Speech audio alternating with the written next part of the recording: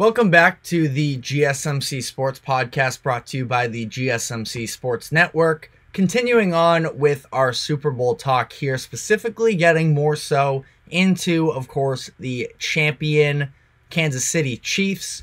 This is, of course, as we talked about in the first segment, first repeat champions since the 2003 4 Patriots and the fourth franchise to ever win three Super Bowls in five seasons. That list also consists of the Steelers in the mid to late 70s, the Cowboys winning three and four years from 1992 to 1995, and then the Patriots with the three and four from 2001 to 2004. The Steelers actually won four in six years, but again, these are what we look at as the dynasties. Now, I know the Cowboys had a couple other ones in there, same with the Steelers as well. The Patriots is a little interesting because they were more so going 10 years without anything and then coming back around in that mid to late 2010s and rattling off another three. So it was the total of six in that 15, 20 year span. But, you know, I think that this does put the Chiefs at a different level of officially becoming a dynasty. In my opinion, I have three really being the number. In what exact amount of years, I feel like is a little bit up for debate.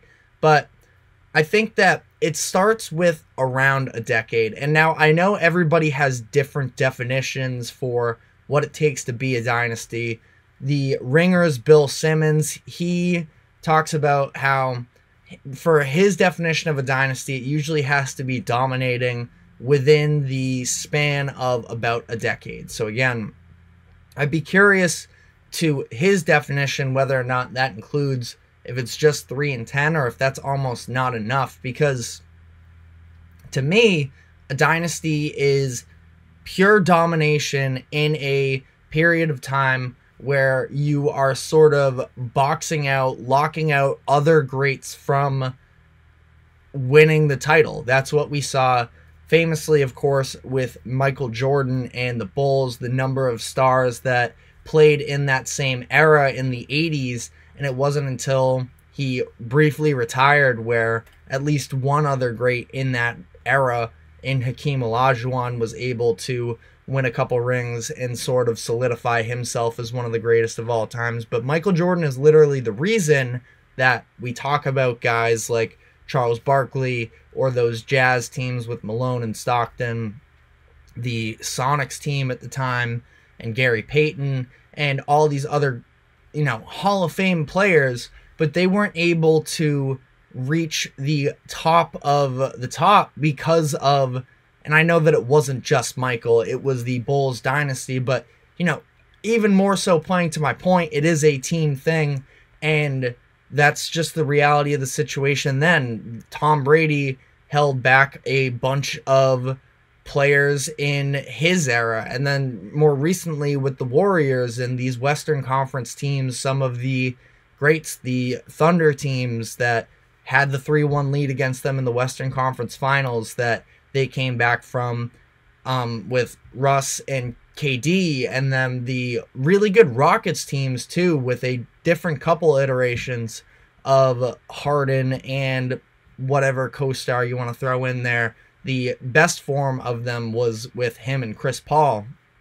But you know, that's sort of what a dynasty does is it pushes down these other groups of all-time great players and all-time great teams to a lower level than them because they are so dominant. And that's what we're currently seeing with Mahomes and the other QBs in the AFC, where we're going to have a little bit of reservations with Josh Allen and Lamar Jackson and whoever else is trying to rival for the, at this point, again, the top quarterback in the league alone is sort of a title that I think Mahomes is going to be holding himself for a long period of time now. But now there's not even really an argument to be made. And not just that, but do these other players have it in them to be a Super Bowl caliber quarterback? It's tougher to prove that you are when you're going up against the generational dynasty that is currently the Kansas City Chiefs. So, in my mind, I think it's no doubt yes, they are. They, if you think about too, the way that they have sort of shaped the NFL, the the roster construction, the schematic differences that defenses defenses have sort of adopted over time since Mahomes and the Chiefs have been so dominant. I mean, there was a time period there early in the Chiefs days where they had Tyreek Hill and they would just demolish you with over the top deep plays. You had the speed of Tyreek and the arm of Patrick Mahomes, and it was just deep balls and deep balls and deep balls. And then all of a sudden, other teams started to replicate that. The Bills did so. And as a result, we saw defenses sort of adjust to this new era led by Patrick Mahomes, similar to Curry and the three point shooting of that Warriors dynasty where they started playing two safeties back more. And it was forcing teams to more so go methodical drives up the field. And obviously, not every team has a Patrick Mahomes to be able to throw it over the top like that. So maybe didn't apply to every single game, but in a sense, it affected every single franchise because the way that we evaluate prospects now is the ability a lot of the time to have that deep ball, to have some of these Mahomes characteristics. Why do you think Caleb Williams is such a highly touted draft pick?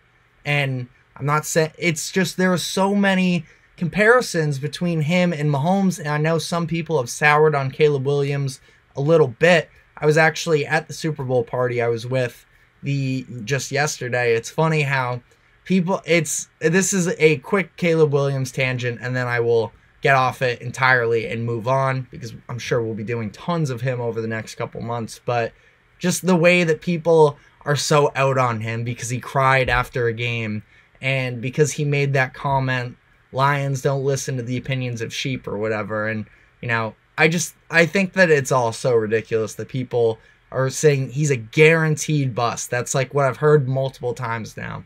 I just think that it's so crazy. But it's not the point. Started talking about him because he has Mahomes characteristics that makes him a very appealing prospect. It's being able to have the arm talent, but also the athleticism outside of the pocket, which is another thing that obviously we've seen Mahomes, especially as time has gone on, sort of rely on his legs less and less.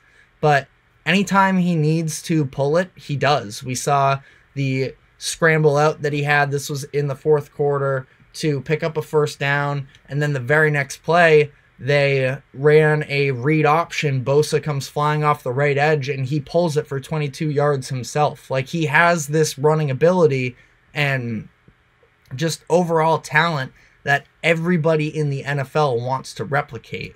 And, you know, it's just so interesting. I feel like these sort of dynamics that go on across the league as a result of Patrick Mahomes and the Chiefs offense doing what they've done. Now, we've since seen the Chiefs sort of similar to the conversation about Mahomes using his legs, but we've seen the Chiefs adjust from they're not just a deep ball threat type of team, and part of that's the maturation of Mahomes in the pocket being able to put together these drives. And I forget who it was. It was somebody last night, I think, on either NFL Network or on CBS. But somebody has made the point that we have so much internal arguments as football fans about this whole game manager idea and the negative connotations that come to it. But part of what has made Mahomes that much better is the fact that he has been able to sort of develop as a game manager and just take what the defense is giving you. And that's what we saw on the drive for the field goal at the end of regulation. You saw him, the defense was sitting back. I'm just going to pick up chunk play by chunk play, going to his various tight ends and working his way up the field. Then you get Kelce, who breaks one open and you can still rely on your arm talent and the the corner throw that he had to I forget which one of the tight ends it was on the play. It was either Watson or Gray, but it was a great throw. So he still has the arm talent to make these difficult passes, but he's sort of settled into his own also as a just game manager in sorts. Of course, with the ceiling of being that game changer, if we want to get into the terminology that's frequently used here. But I think that in the next segment, we're going to be talking about the Chiefs going forward. So, you know, we'll get more into it as it is, but this is just sort of an example of this is probably just about, and we'll see, obviously, because it requires the Chiefs drafting well and still building up their roster well. They've done a pretty good job up to this point these past couple years. Obviously, good enough to win back to back Super Bowls, but this is probably just about as bad as the receiver situation is going to get for Mahomes and the Chiefs because we saw them sort of have to take on this different identity this year where it was more defensive based and you know they're going to have some decisions to make with that defense but they were able to rely on that so much more heavily that they were trying to incorporate the run game more. And Pacheco's been very good for them when he can stay healthy. And, you know, you have Rice coming along during the course of the season. And I thought that overall he was fine in the Super Bowl, but it's not like they had any players that were really fully changing the game like that. And yes, you have Travis Kelce, who was, again, very quiet first half, but at least was able to, you know, make the big plays in the second half, which is what we see him do. I, you know, it obviously seemed like it helped some. Not that Greenlaw was the primary matchup for Kelce throughout the course of the game, but once it was Greenlaw going down, it was a lot more of that Burks from the 49ers. I'm blanking on his first name right now. But once they got that backup linebacker in, they were looking to attack more and they were able to take advantage more. So it was Oren Burks for the 49ers. You know, it, it's just sort of the strategic thing of, you know, Mahomes understanding the matchups and all that. And, you know, I don't know too much about Burks as a player himself, but again, it's just understanding the moment there. And Kelce was able to capitalize on that. He finishes the game with, after I think it was only one catch or something like that in the first half, finishes with nine catches for 93 yards. And again, it's not like any of the other receiver threats were even really all too impactful for them, but they were good enough. And I think that this is, again, probably one of the worst receiving corps groups we'll see with the Kansas City Chiefs under Patrick Mahomes. I just, you know, I think that from here, they're only going to get better. Now, again, that's maybe a big assumption, but I think that, you know, what makes this run so impressive the from when Mahomes first started with the Chiefs to now is again just these different identities that they've been able to be malleable and be able to to pick up different things and play different styles that best suits them going forward. And you know i think that this was one of the more difficult paths for them during this run is because it was a little bit less Patrick Mahomes reliant. You can argue it was more because of the lack of surrounding talent, but I felt like this year was a lot more about the defense and sort of having that identity and having Mahomes make the big plays when they need. And I know it didn't go great during some of the regular season, but in the biggest moments, it is the biggest star, Patrick Mahomes, that makes the plays. He's done so in three, technically, they were off last week, but three straight playoff games, I should say, as opposed to weeks. And, you know, I, it's hard as a Patriots fan to sort of root for a guy that is coming for my favorite player's legacy in terms of being the greatest of all time.